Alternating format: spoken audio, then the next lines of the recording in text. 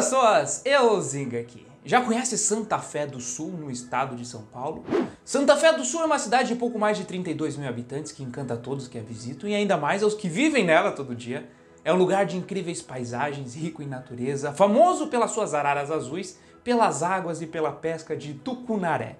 Enfim, se a curiosidade bateu aí, fica com a gente que a Sete Par me convidou para te apresentar Santa Fé do Sul, suas peculiaridades e curiosidades. Então, mesmo que você more aí, tem bastante coisa que eu duvido que você saiba. Quer ver? Para começar, é bom localizar a cidade, né? Santa Fé do Sul fica lá no extremo noroeste de São Paulo, a uns 600 quilômetros da capital, mas a 10 quilômetros do Mato Grosso do Sul, a 20 de Minas Gerais e a 70 de Goiás. Então já dá para saber que essa cidade respira uma cultura bem diversificada, além de estar tá e um entroncamento perto das mais importantes rodovias que ligam a região. Isso sem contar com a ligação hidroviária Tietê-Paraná e a lindona da ponte rodoferroviária que passa sobre o rio Paraná, que curiosamente foi idealizada por Euclides Cunha, autor do clássico Os Sertões.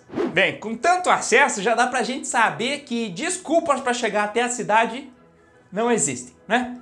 E caso você nunca tenha ouvido falar em Santa Fé do Sul, saiba você que é uma das principais e mais interessantes cidades da região dos Grandes Lagos, banhada pelos rios Grande e Paraná. Não à toa é conhecida como a capital dessa região, que é formada pelas usinas de Ilha Solteira, Jupiá e Água Vermelha. A cidade ainda é um grande destaque na produção de tilápias, é um polo universitário que recebe estudantes de toda a região, tem uma ótima qualidade de vida, sendo uma das 15 melhores cidades de todo o Brasil para se viver, e tem uma economia pautada nos setores da indústria e comércio, mas com um foco bem voltado assim para o agroturismo. Santa Fé é uma instância turística super importante no estado paulista que oferece aos visitantes as águas cristalinas do Rio Paraná, o contato com as produções de leite, uva, manga, coco e banana, além das peças artesanais feitas em cerâmica queimada. E se somar isso com tudo o que eu falei agora há pouco, é de se pensar que essa cidade deveria ter mais de um milhão de habitantes, não é?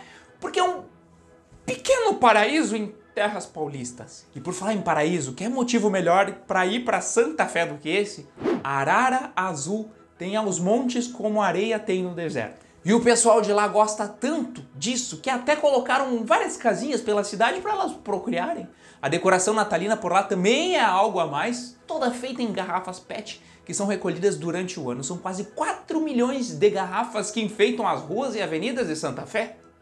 E caso você esteja na cidade algum dia e ache algumas coisas estranhas, saiba que tá tudo normal, porque lá o pessoal tem o hábito mesmo de por exemplo, ouvir rádio na hora do almoço para se atualizar dos fofocas da cidade. Também quase sempre tem um apito do trem que passa próximo à cidade. E assim, ó, só para segurar um pouco mais a tua ansiedade em conhecer os atrativos desse paraíso, deixa eu te contar a história desse pedaço de chão bem rapidão. A cidade foi fundada em 14 de junho de 1948 e elevada à condição de município só em 1953. Pronto, tá, eu sei, foi rápido demais. Apesar de Santa Fé parecer tão nova, tem muita história por trás disso, mas como eu sei que tu quer conhecer os atrativos turísticos do lugar, vamos deixar por isso então que eu já tô enrolando mais do que namoro de cobra. Bem, Santa Fé já deu para ver que é um lugar privilegiado com tudo isso que eu falei, não é? Não por menos em 2003 recebeu o status de estância turística, então já é quase que um spoiler para dizer que tem muita coisa para se fazer, principalmente se o teu rolê for dar um tibum em rio de água doce. Ou passear pela orla, ou praticar pesca esportiva, ou ainda passear de barco ou de lancha. Ou então, sei lá, curtir o baita do pôr do sol que faz alguns chamarem a cidade de Santa Fé do Sol. Um dos lugares mais incríveis da cidade é o Bico do Beija-Flor.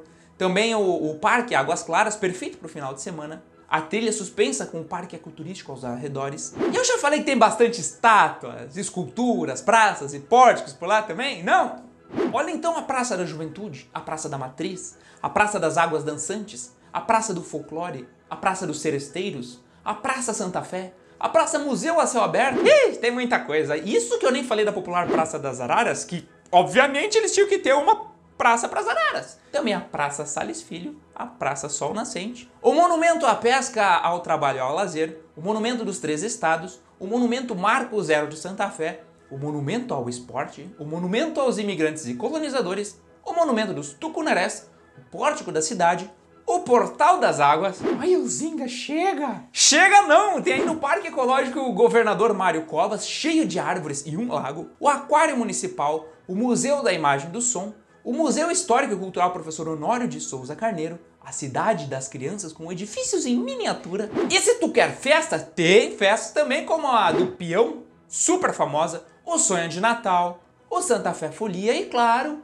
o Aqui Show Brasil, o maior evento da piscicultura nacional que nasceu na própria cidade. Agora sim, chega. Vou deixar vocês pesquisarem outras coisas sobre a cidade para não entregar tudo de bandeja nesse vídeo aí. E para tu que já conhece Santa Fé do Sul, me diz aí o que, que faltou assim falar dela. Aproveita para complementar o conteúdo nos comentários. Aliás, eu quero deixar aquele super abraço bem apertado de feliz 74 anos para vocês, em meu nome e de toda a galera da City para Empreendimentos que tem um baita orgulho de fazer parte da história dessa cidade. Fui!